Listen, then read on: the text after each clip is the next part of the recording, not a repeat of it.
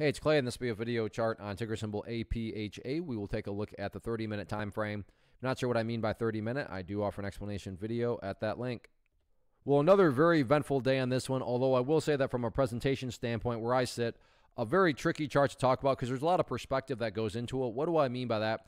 Well, if you were some sort of day trader, flipper, scalper, whatever you want to call yourself, and you bought right there and your plan was to buy and sell within 20 minutes, well, then from that perspective, the chart does not look good at all. Now, if you care about more so the bigger picture, then I get it. Yeah, from the highs, there was a larger pullback, but from the grand grand scheme of things, you know, it overall the price does still have the opportunity to build a higher base, and that's how long-term uptrends are constructed. Just higher bases being put into play over extended periods of time, and that's going to be the viewpoint that I talk about things from. So, you know, if I sound crazy calling something bullish, my guess would be you probably had more of a day trader type mentality going into all this.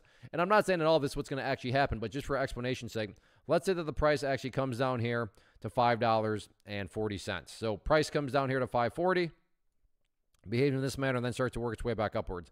What would you have in this situation? Well, in this situation, emphasis here on big picture, you'd have a set of lows there. You'd have lows there. You'd have lows down there. And if you envision each one of these as stair steps, what do you have? Well, from the big picture point of view, you'd still very clearly have stair steps making progress in the upwards direction. And again, that's the name of the game. That's what a truly strong move is going to do over time. It's going to make progress forward. And again, in this situation, quote unquote, progress being defined as $5.40. Again, I get it. If you're a day trader and you bought up there, then yeah, you don't care about these stair steps. But that's why I try to offer up a warning that I would be commenting from the bigger picture point of view. So yeah, today the price pulled back, but stop and think about that word today, as in one day. Looking at multiple days as we're doing here, you can see the price does still have plenty of opportunity to chip away and build a higher base. So let's see if the price can get that job done or not moving forward. First off, thanks so much for watching the entire video. Real quick, before you go, I want to invite you to a live webinar, web class, training, workshop, online event, whatever you want to call it, but it will be me live revealing to you what I've discovered that has allowed me to transform myself from being an employee to being my own boss, including how I had only one losing day out of 73 days in total.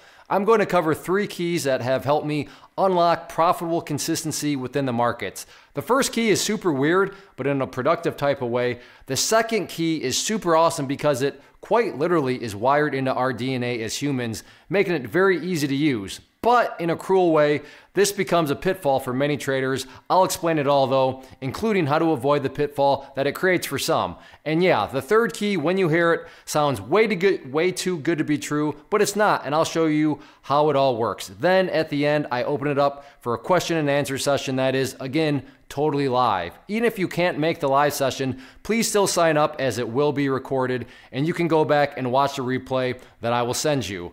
Click the image on the screen or click the link down in the description box so you can get the date and time and claim your spot, which I should note is limited due to the fact that this truly is a live event. If you have any questions, let me know. If not, I'll be seeing you soon.